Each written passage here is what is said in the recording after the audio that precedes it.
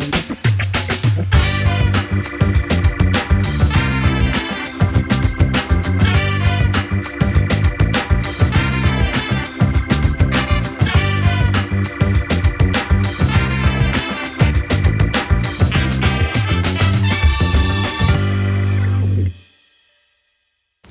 Vekilin mutfağından herkese tekrar merhaba. Her hafta bir il, her hafta bir lezzet diyerek yola çıktık. Ve bu haftaki durağımız Afyonkarahisar. Konuğumuz AK Parti Afyonkarahisar Milletvekili Hatice Dudu Özkal. Efendim hoş geldiniz. Hoş bulduk. Nasılsınız? Teşekkürler. Siz de iyisiniz Biz inşallah. de iyiyiz. Çok teşekkür ederiz. Geldiniz burada bize çok güzel bir yemek yapacaksınız. Ama merak ediyorum evde de mutfağa girebiliyor musunuz? Vaktiniz var mı? Ha, normal normal şartlarda mutfağı çok severim. Yemek yapmayı da çok severim. Girerim ama vekil olalı böyle bir şey mümkün değil. Hayal artık. Öyle mi? Giremiyorsunuz artık. En son hangi yemeği yaptınız? Hatırlıyor musunuz? Ne zaman oldu ya da en son ne zaman yemek yaptınız? Ha, yani şöyle bir şey. Bir özel misafirim vardı. Hafta sonu bir yemek yaptım ve afyon kebabı yaptım. Afyon kebabı yaptınız. Aynen bu Yakın yaptım. tarihte mi yaptınız Evet peki? evet. Bu geçtiğimiz pazardı. Çok güzel. Herhalde senede bir kez falan oluyor. Peki yemek yapmayı sever misiniz? Çok. Çok seversiniz. En çok hangi yemeği seversiniz? Ya ben Afyon'un yerel menülerinin hepsini iyi yaptığımı iddia ediyorum. İddialısınız Evet, yemekte. çok iddialıyım. Şimdi bugün iddialı bir yemek yiyeceğiz Evet, yani. afyon kebabı. Çok güzel. Peki temponuz nasıl gidiyor? Çok yoğun çalışıyorsunuz. Aynen. Meclis kapandı ama şu anda. Bizim için yani böyle e, vekil için tatil gibi bir kavram yok. İlimiz meclisten daha yoğun. Evet. E, çünkü orada pek çok e, yoğun programlar oluyor. E, program olmasa da bizim ilçe ziyaretlerimiz, köy, belde ziyaretlerimiz oluyor. O yüzden Ankara'dan daha yoğun oluyor ilimiz. Yani onun için bir, bir tatil gibi bir kavram söz konusu değil. Peki bugün bize hangi güzel lezzetli yemeği yapacaksınız? Afyon kebabı yapacağım. Özellikle e, bu Afyon'un tüm davetlerinde mutlaka olmazsa olmaz bir yemeğimiz. E, şimdi hani kebap deyince herkes ızgara tarzı anlıyor ama İç Anadolu e, kültürüne yakın bir e, Afyon'un kebabı farklı bir tarz. O yüzden herkesin evde yapabileceği bir yemek. Kolay bir yemek. Mi? Kolay diyelim. Siz iddialısınız ama. o zaman isterseniz malzemelerimizi hazırlayalım. Ekranları başında izleyicilerimiz de hazırlasın. Biz de hazırlayalım. Sonra da başlayalım.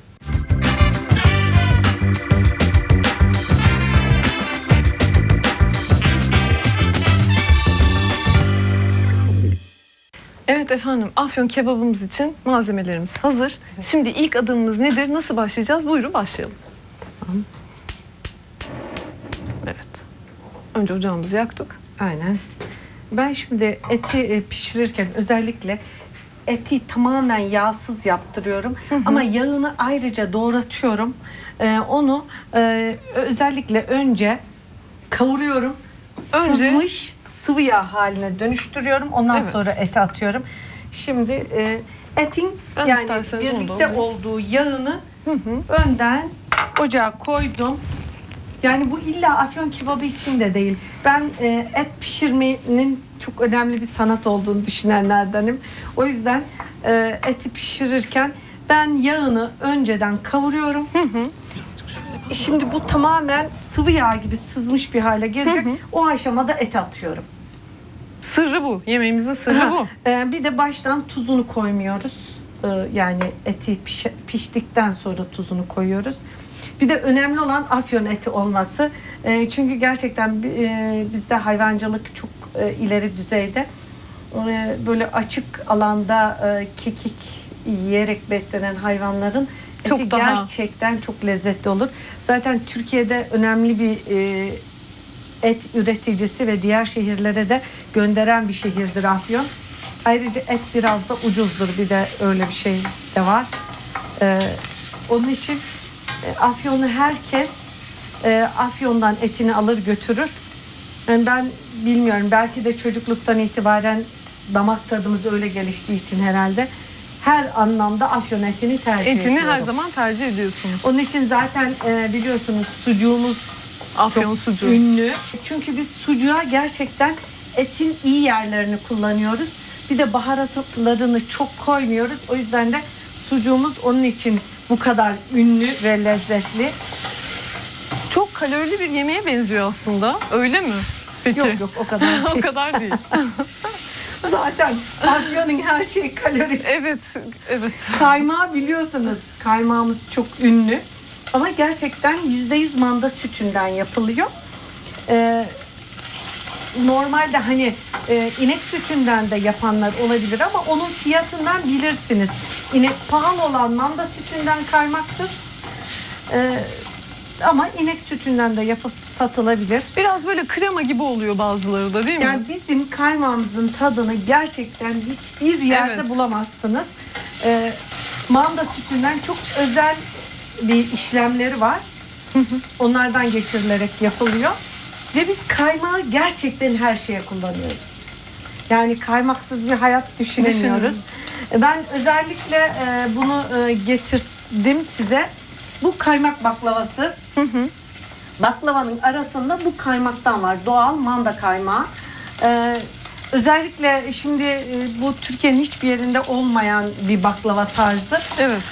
Onda şöyle bir şey var. Biz baklavayı iki ayrı tepside pişiriyoruz. Çünkü kaymak eriyeceği için iki ayrı tepside pişer baklava. Ondan sonra arasına kaymak yerleştirilir. Öteki tepsi onun üstüne aktarılır. Ondan sonra hafif şerbet dökülür, karıştırılır. O yüzden Türkiye'nin hiçbir yerinde iddia ediyorum dünyada böyle bir baklava yok. Bizim doğal manda kaymağımızdan yapılmış e, kaymak baklavamız. Çok böyle özel bir lezzeti vardır. Ee, bir de şöyle bir şey. Mesela nişanlı kızlar filan e, tepsiyle olan tarafına gönderilir. Bir de öyle bir sırrı vardır. Bütün tepsi gider. Üzerine de böyle bütün bir kaymak konulur. Onun üzerine de altın saplanılır.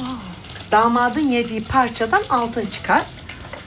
Ee, onun için e, Kaymak yani- hayatın her yerinde. Evet, tatlıların hepsinde. Ondan sonra kahvaltıda. Yani Afyon'da bir herhangi bir tatlının kaymaksız yendiğini çok görmezsiniz. Yani alakasız tatlılara da mutlaka kaymak konulur. Biz haşhaş hayatımızda o kadar çok vardır ki her yerde ve her şeyde kullanıyoruz. Ee, mesela şey biz e, kahvaltıya veya e, yani ne bileyim bir yemeğin arkasına da olabilir. Haşhaşla pekmez karıp onu yiyebiliriz. Balla olabilir. Ama onun dışında tüm hamur işlerimizin güzelliğinin sırrı haşhaştır. Haşhaş. Haşhaş olmadan bizim bir hamur işi yapmamız mümkün değil. Ve tüm ondaki sır o haşhaş. Ama haşhaşı da yani bu haliyle somut kullanmıyoruz. Ee, haşhaş yağıyla seyrelterek hamura sürüyoruz. İster mayalı yapın, ister mayasız yapın ne olması önemli değil. Şimdi isterseniz bakın e, o attığımız yağlar Bir bakalım hemen. e, gördünüz evet, mü? evet. Şimdi artık ben bu aşamada ete atıyorum. Ete geçiyoruz. Ha, yani bu sızmış yağ ete atıyorum ki e, etin kendi doğal yağı ama e, içinde etle yağı birlikte attığımızda yağ beyaz beyaz kalıyor. O da hiç hoş görüntüsü Hiç hoş olmuyor. görüntü. Ondan sonra da tabakta yağları seçiyoruz. Kimse bu yağları seçemez çünkü kahverengi oldu. Ayrıca bu sızmış yağa e, et atmak da ayrı bir ete lezzet kazandırıyor. Evet, etimizi Şöyle ilave ediyoruz. Bu kadar kalorili yemek yiyoruz efendim. Yiyorsunuz. Nasıl formunuzu koruyorsunuz? Spor yapabiliyor musunuz? Az, yani Az mı yiyorsunuz? hepsini değil. Yani şimdi Ama şimdi yemeklerimiz çok kalorili. yeter bu e, kebap. Onun için yani size düşen kalori payı azdır. Çok korkmayın. Peki normalde yediğinizde mesela kaymak yiyorsunuz, baklava yiyorsunuz. Hep eksik etmiyorsunuz mutfağınızdan. Nasıl koruyorsunuz hamur işlerini? Dikkat ederek çok sürekli. yemeden. E, gerçekten Afyon'da diyet yapmak çok, Çok zor. zor. Yani bu kadar lezzetle bir arada olmak. e, yani böyle o caddelerde yürürken bile sok- birisi lokumcu dükkanıdır, birisi kaymaktır, biri sucukcudur. Yani çok zor. Çok zor. Çok zor. Şimdi ben özellikle e, bu doğal etin kendi yağında e, et sulanıp suyunu çeker. E, O aşamada hani bu mühürleme dediğimiz şey bu işte. Ben şimdi et yavaş ve güzel pişsin diye normal zamanda bir e, yani böyle az et pişirmem. Pişirdiğimde en az 5 kilogram et pişiririm. Onu da soğuduktan sonra kaplara koyup buzluğa atarım. Her an e, Hazır olabilmesi pratik için. kullanırım.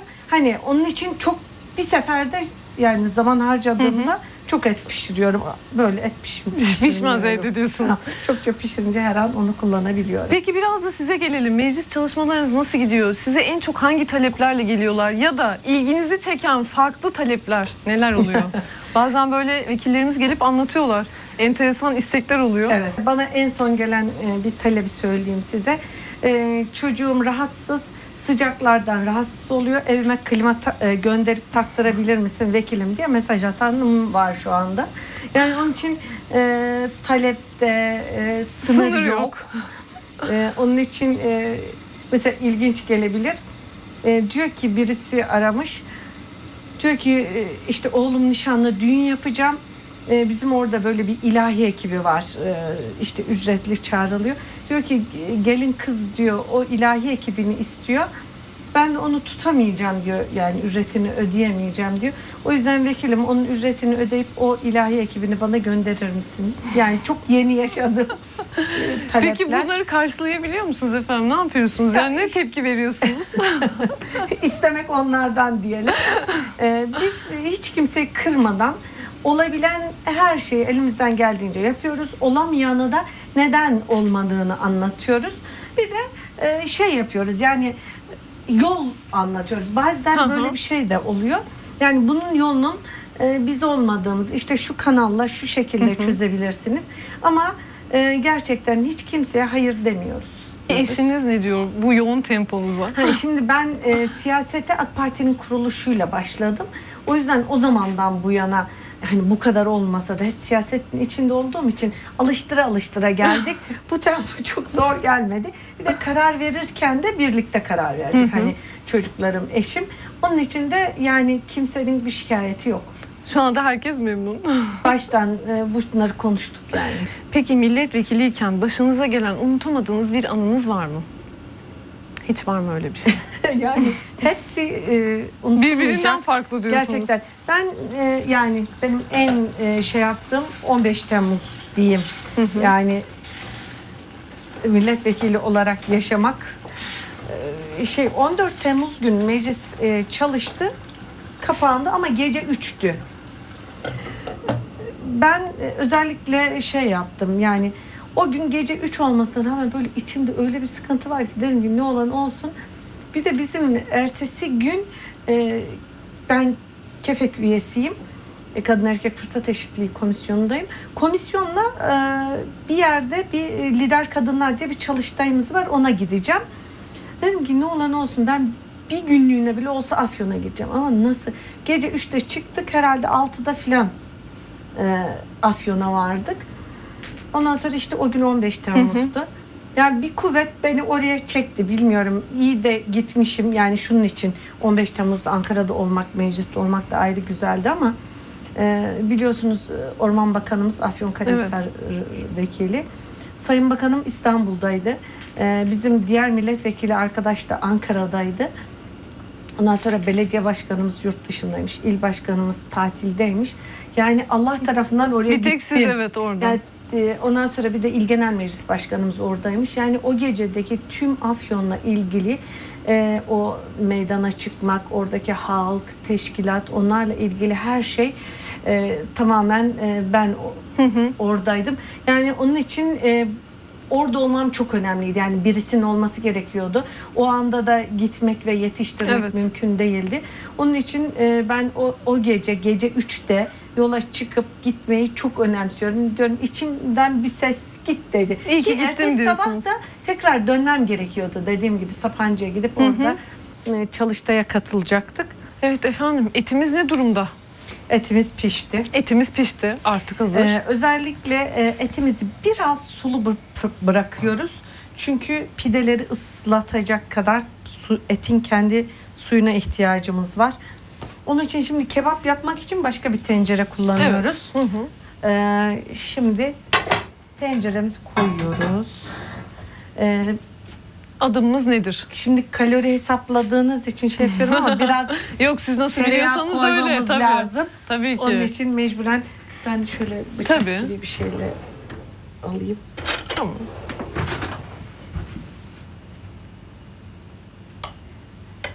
Şimdi iddialı olduğunuzu da söylediniz. Ustaya bırakmak gerekir işi. Karışmamak gerekir. Şimdi bu da gerçekten çok güzel kokar. Ee, onun için e, şimdi ekranlar başında olanlara koku gitmiyor ama e, gerçekten bu tereyağının kokusuyla et artık efsaneye dönüşür. Şimdi ne yapacağız efendim? Şimdi biz Adımımız. e, tabanı et yanmayacak kadar e, az bir tereyağı koyuyoruz. E, bu tereyağına şimdi ben etin suyu tencerede kalacak şekilde eti alacağım.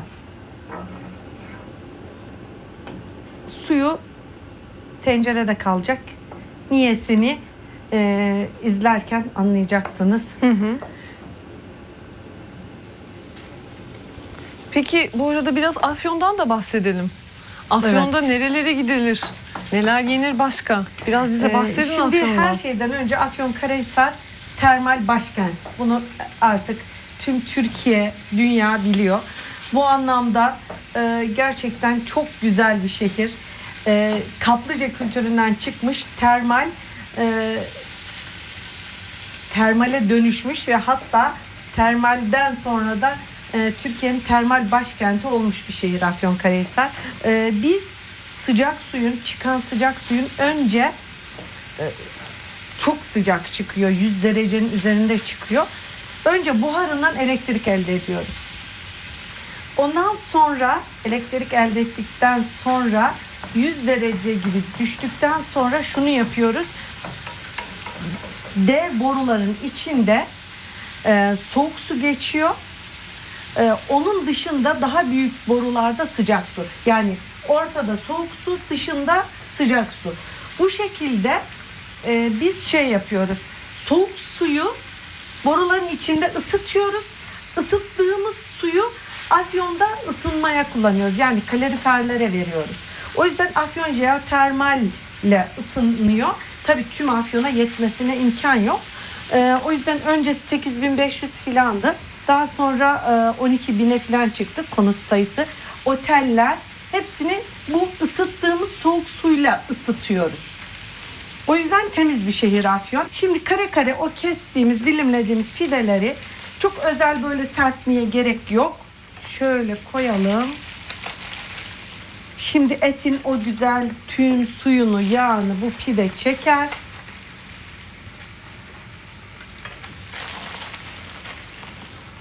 Bu e, böyle sofraya oturmadan en fazla 5 ya da 10 dakika önce bu yani etiniz hazırsa o aşamada Buyurun. yapabiliriz. Evet bayağı sapları sıcak. Şimdi etin e, bu tencerede bıraktığım evet. o kendi özlü Et güzel suyunu. suyunu şöyle gezdiriyorum. Pidesi etinden lezzetli olur. Şu anda Çünkü çok etin- lezzetli görünüyor evet. Tüm e, yağını, tadını bu almıştır. Bu bizim çorbadan sonra davetlerde e, ana yemektir. Ama Afyon'da ilginç bir davet yemeği sistemi vardır. Çift çorba, çift tatlı, çift dolmalı bir sıra yemeği vardır. Onun için başkaları biraz şaşırır. Bir de şeydir. Bir tatlı bir tuzlu, bir tatlı Bir tatlı. çorba, kebap, tatlı. Ondan sonra dolma, musakka. Ondan sonra e, tekrar hem muhallebi hem tatlıdır. Yani bir tatlı. öğünde iki tatlı yeniliyor. iki tatlı, iki çorba, İki çorba. iki dolma, Evet gerçekten musakka. dikkat etmek çok zormuş Afyon'da. Ben hep diyorum. Ee, şimdi özellikle bunu kapatıyoruz. Evet. Kısık ateşte bu sadece pideler yumuşayana, Yumuşayana kadar. kadar. Şimdi etimiz pişti. Şimdi e, pide yumuşayana kadar da o tereyağla da o et kızarır. E, o yüzden muhteşem bir lezzet çıkar Lezzet ortaya. ortaya çıkar. Peki Afyon'da nerelere gidelim efendim? Gittiğimiz zaman. Aslında Afyon e, gerçekten her şeyden önce Kurtuluş Savaşı'nın yaşandığı bir yer. ve Yunanlıların Afyon üzerinden alınıp gidilip Ege denizine döküldüğü bir yer. O yüzden öncelikle bizde muhteşem bir tarih var. Kurtuluş Savaşı'nın Atatürk'ün verdiği tüm mücadeleler hatta işte e, 26 Ağustos'ta e, biliyorsunuz sabaha kadar Atatürk o yolu yürüdüğü için Şuhut'tan Afyon o savaşın olduğu kısımları e, onu yaşatmak adına yine yürüyor herkes biliyorsunuz. Evet. O Zafer Bayramı'nda. E, ondan sonra tarih dedik. E, Firik Vadimiz var. Gerçekten antik bir şehir. E, mutlaka Afyon'a gelen herkesin Firik Vadisi'ni görmesini arzu ederiz. E, antik şehir olarak. Aynı zamanda yani gerçekten peri bacaları var. Kimse çok bilmiyor. Afyon hep termalle öne Evet. çıktığı için ama e, tarihle de öne çıkması gereken bir şehir. E, eğer tarihe merakınız varsa otele otellere geldiğinizde termalden hani sabah termal havuzunuza girip yararlandıktan sonra öğleden sonranız için çok güzel aktiviteler var. Tarih gezisi yapabilirsiniz. Onun dışında gerçekten Anadolu'nun en bakir, saklanmış çok güzel alanları mevcut. Yani e, Selçuklu mimarisinden çok güzel örnekler olan ahşap camiler, Ondan sonra özellikle hamam kültürü yani e, o hamamları aynen koruyoruz. E, gezip ziyaret edilebilir. Tarih var. Kurtuluş Savaşı var. Onun dışında biz gerçekten Afyon'da Firik Vadisi dı- dışında da Sandıklı ilçemizde kanyon var. Doğal güzellik görmek istiyorsanız o da var. E, Afyon gerçekten bilmiyorum be- benim gözümle bakınca bizim gözümüzde bakınca bir cennet gurme e, geziler içinde en önemli mekanların başında ben Evet. Afyon'un geldiğini düşünüyorum. E, çünkü artık ka- e, baklavamız farklı ve özel başka bir yerde bulamayacağınız kaymaklı baklava. Kebabımız, tencere yemeklerimiz farklı. Kaymağımız, lokumumuz, haşhaşlı ürünlerimiz o kadar çok çeşitli ki biz ham- e, bu haşhaşla hamur işi yaptığımız belki 100 çeşidin üzerinde yaparız. Nasıl diyeceksiniz? Şimdi un, hamur, su yoğururuz. Haşhaşla yağla onu yağlarız. Şimdi bunu mercimekli, peynirli, kıymalı, patatesli, otlu, aklınıza gelen pırasalı içle yaparız. Taş fırında bu dediğim mahalle fırınlarında pişiririz. Ona bükme deriz. Şimdi onu böyle ağız açık modelle Evet. yaparız. Aynı hamuru. Ona ağız açık deriz. Peynirlisi, kıymalısı onu yaparız. Ondan sonra aynı hamuru, haşhaşlı yağlı hamuru yine aynı içleri koyarız. Farklı. Saçta yaparız. Yaparız. Ocak bükmesi deriz. Ondan sonra yumuşak tercih edenler için mayalı hamurla yine haşhaşla yağla yapar. Ayrı ayrı içleri koyarız. Bir o kadar çeşit de mayalıdan olur. O yumuşak olur. Ondan sonra bir de böyle haşhaşlı pidemiz vardır, tahinli pidesi vardır derken bir de iç koymadan sadece bol haşhaşlı yaparız. Bir de o çeşitler vardır. O zaman mübalağa Evet. etmiş olmuyoruz. Yüzün üzerinde Tabii ki. hamur işi çeşidi çıkmış olur.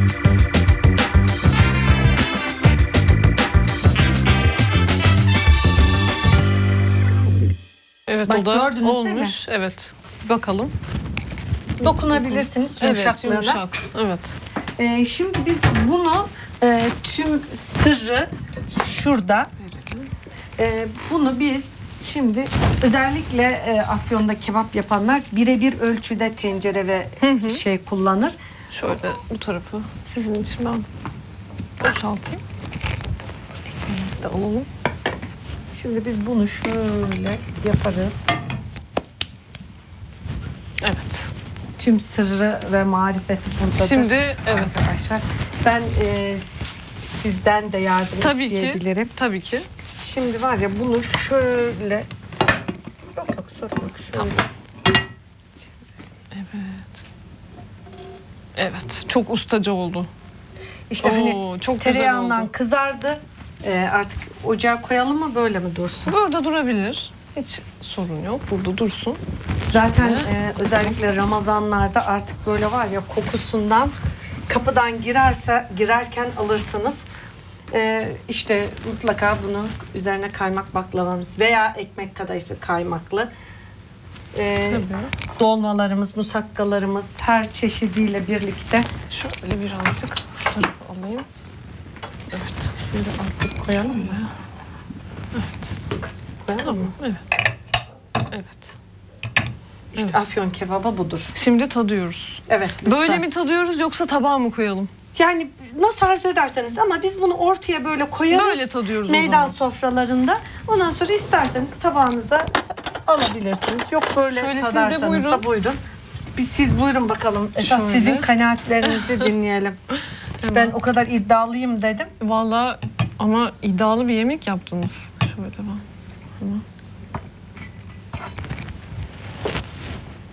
Sıcakta.